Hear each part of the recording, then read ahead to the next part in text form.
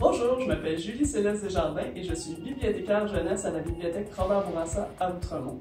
Ma bande dessinée coup de cœur s'intitule Hubert Reeves nous explique la biodiversité. Une bande dessinée parfaite pour les petits et grands avides de nouvelles connaissances. Le personnage principal est l'astrophysicien Hubert Reeves et pour poursuivre le plaisir de lecture, on peut lire le deuxième tome de la série Hubert Reeves nous explique la forêt. Bonne lecture!